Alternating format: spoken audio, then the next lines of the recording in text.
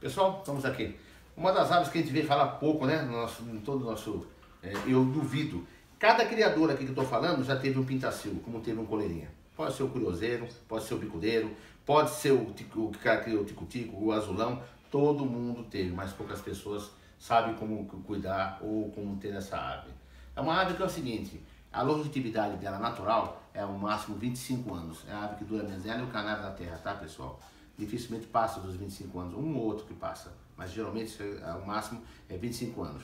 Como canário cria muito, sai 5, 6 filhotes cada ninhada. Eu tenho criado bastante. Esse aqui é criação minha, esse pintacil aqui. Canta canto metálico, não está cantando agora porque começou a derrubar apenas, ele estava cantando. É muito bom, muito pronto mesmo esse passarinho. Agora, é uma ave que é o seguinte, o pessoal fala, pô, o pintacil morre à toa. Morre porque o pessoal deixa ele... Pintacil tem uma, uma dica, não pode tomar água que ele faz cocô. Se ele fizer sujeira dentro da água e tomar, ele morre. Ele se autocontamina. É a ave que tem a, o protozoário, a, a coccidiose em maior dimensão no organismo é o pintacilo. Eles têm naturalmente. É abaixar a resistência um pouco, a doença entra. Eles têm naturalmente. Pode ver que quem não pegava pintacilo da natureza, alguns anos atrás, morria a maioria. Sabe? Porque nós temos somente a sulfaquiloxamina para poder prevenir. Pegava a doença, morria. Não tinha como se salvar. Porque é uma ave que ela tem por natureza. Alimentação. Sabe, não tem que comer alpiste, pessoal. É uma dica.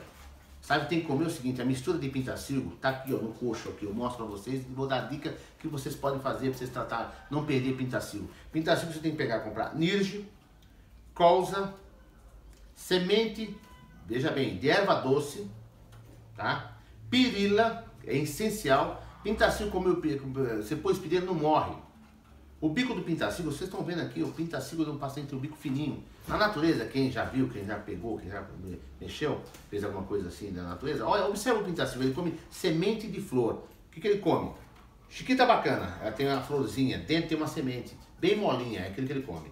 Sarralha, picão, aça-peixe, tá? Tudo que é semente, semente, a flor da couve, aquela florzinha amarela, tem uma sementinha, o pintacilgo adora. Ele se alimenta disso, pessoal.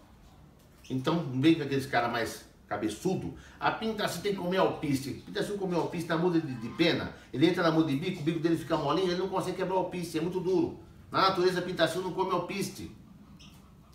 Come for, for, picão. Olha o picão, abre ele. Abre ele, você vê, é uma sementinha preta, igual, igual o nirge. Molinha, tem o mesmo conteúdo que o nirge. O nirge, o nirge é, é semente de flor, de flor, a mostarda é semente de flor, a pirila é semente de flor, tá? E o, o próprio erva doce é semente de flor, a erva doce é uma flor. Tá bom, pessoal? Então essa é a alimentação. Não mate o pintacil de, de, com muda de bico, de fome. Ele abaixa, ele começa a enfraquecer. Na muda, ele morre de fome. Tá? É uma ave que precisa é, ser tratada, veja bem, bem com água limpa, não pode. Tá vendo? Só bebedouro. Botou a banheira, tomou banho, tira. Se ele fizer cocô e deixar um dia para o outro cocô o, o protozoário o, vamos dizer assim, a bactéria, o, o verme, ou vamos dizer assim, o vírus da coccidiose se prolifera na água, ele bebeu, ele se autocontamina, ele vai embora, tá? Vai e morre, infelizmente. É uma ave carismática, conversa com a gente, canta bonito, muito bonita, uma ave alegre, cria fácil, fácil na gaiola. É uma das aves que cria mais fácil, o baianinho mais ainda. É só você ter a fêmea. Agora, uma coisa é essencial, você pôr um ninho, tá? A fibra de pitacica é muito sistemática, então você precisa pôr um pouco de mato. Uma coisa, algodão.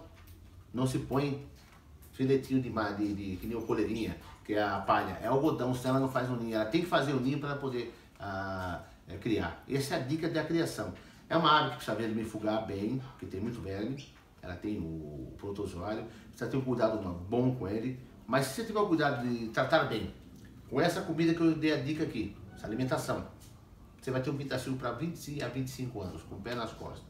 Que esse aqui já está com 5 anos comigo, tá? Eu criei ele tem 5 anos. Não, não tá comigo, eu gosto dele, peguei um amor tremendo. Esse ano aqui não criei pintacilgo, que não deu tempo, eu tive uns problemas aí no caso, não deu para criar, mas agora esse ano que vem eu crio. Tem um monte de filhote de pintacilgo, eu vou pôr no grupo, vou pôr no caso é, navio animal. Isso aqui, olha, quem é os aficionados ao nosso pássaro, Marvin, pega canto fácil metálico, se você tem um mestre. Nós fazemos torneios, eu me lembro muito bem, canto roda d'água, canto livre, e o canto clássico, que é o metálico. Tanto que tinha um pintaço que muitos de vocês não escutaram cantar. É o metálico de ida e tem um metálico que vai e volta, que é o sanfonia, que é o mais raro.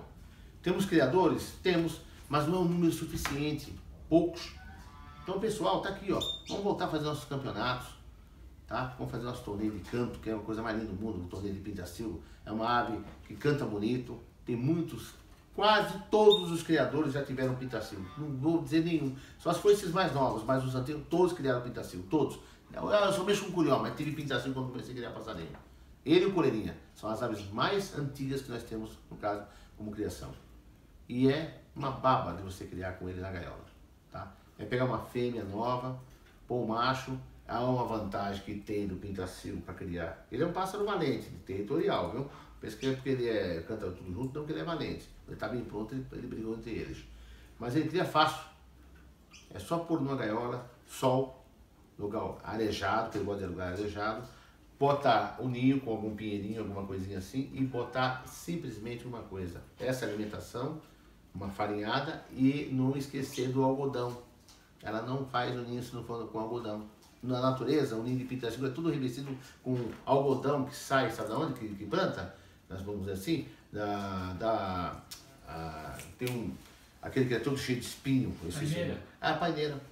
É isso aí, o diretor me, me, me fugiu da mente. A paineira não solta aquele algodãozinho, é aquilo que o pedacinho pega para fazer o ninho. Se você botar, é, vamos dizer assim, raiz, ele não vai, ela não vai aprontar. Impressionante isso, né? Uma diquinha de nada, mas é, é isso aí. Outra coisa, é, a, a fêmea de pitacil, você põe um macho de cara, se você tiver um macho, você vê com 3, 4 fêmeas ou mais. Fácil, fácil. Alimentação é, na farinhada e na pirila, é essencial. Tem a pirila preta também, viu pessoal? Tem a branca e tem a preta, tá? É difícil de achar, mas tem a preta também. Mas a mistura é essa que eu falei aí, ó. Se você fizer isso aí, você vai ter pintação para 20 a 30 anos. Tá bom? 30 anos não vou dizer, mas até os 25. Vai ter, eu tive um que chegou até quase 30 anos, mas já estava bem, bem ruim mesmo. Foi com 28.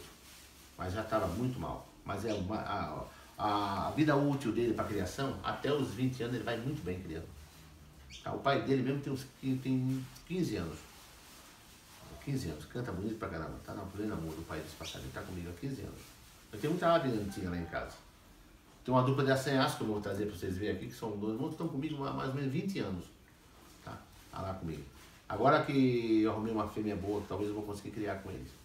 Tá ok? Mas tá aí. Esse é o pintaçu. Se tiver alguma pergunta, sugestão, é a dica. É uma ave, a gente fala pouco porque tem poucos criadores, não, tem bastante.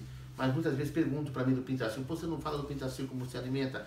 Outra coisa, gosta demais de verdura de todo tipo. Giló, eles precisam comer verdura, esse pássaro adora. Uma das verduras que eu mais indico para pássaro é a Catalônia. Abaixo dela o almeirão. Chicória também é bom, adora. É uma ave que gosta de tudo que é muito é, amargo. Eles adoram. Faz bem para o aparelho dele. Tá? Tem que tratar.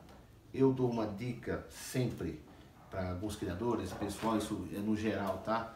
Tem um remédio chamado Coxidex, que eu represento o Arão e ele tem. Pessoal, é uma dica. Cinco dias, uma vez por mês. Você pega uma, uma quantidade, uma cápsula, dilui em 100 ml e dá para tratar até quatro passarinhos, tá? Dá cinco dias para não perder, mudar, desenvolver coccidiose. É um preventivo. Hoje nós temos um defeito muito grave, eu falo para os criadores, que nós esperamos as aves ficarem doentes para correr atrás de tratar. Às vezes está uma semana já, a doença está tá muito adiantada e já foi. Perdeu o passarinho, entendeu? Não dá mais tempo. Principalmente pintacil, que é uma ave que ela embola, ela morre rápido, ela é muito fraquinha. É uma ave que tem um sistema de defesa do organismo muito fraquinho. Ele não é muito forte não, tá? Outro que ele é muito forte é meu trinca-ferro, viu pessoal? Só tem tamanho, tá? É igual pintacilgo, embolou, morre. Então, vamos fazer isso aí. Essa é a dica que eu vou dar para vocês. Cinco dias, uma vez por mês, cinco, é baratinho. Você dilui aquilo em 100 ml, uma cápsula, você trata de 4 a 5 passarinhos, cinco dias. Ele também é areia? Isso é essencial. Toda ave, só a única ave que não come areia e não precisa, que não tem moela, tá? é o sabiá, espécie de tordos, todos a linha tordos, eles não têm. O currupião, tá? Ah, vamos dizer assim, a, a sanhaço não tem moela. Eles, é, tem papo, eles têm um suco gástrico muito forte Então nada, nada para. Você pode pegar uma moeda, dá para uma sabiá comer, que entrou na, na garganta, sai cocô. É, dissolve a moeda, o suco gástrico. Se uma sabiá fizer cocô em cima do teu carro e não lavar rápido, ele mancha, ela corrói. Então a sabiá é um ave que não, que não pega. Ela se alimenta só de verme. Quando ela está tratando filhote, é só minhoca, o diretor. Agora esse aqui é essencial. É uma ave que tem moela, ela precisa da areia para fazer a digestão, porque ela come a semente inteira e quem faz a trituração, a moela é que nem meus dedos. As pedras ficam aqui e ela faz esse trabalho só. E aí digere e entra para o sistema digestivo. Ave é essencial. Todas elas, tá ok? Então estamos aí, meus amigos. Grato, estou aguardando vocês na nossa TBB Animal.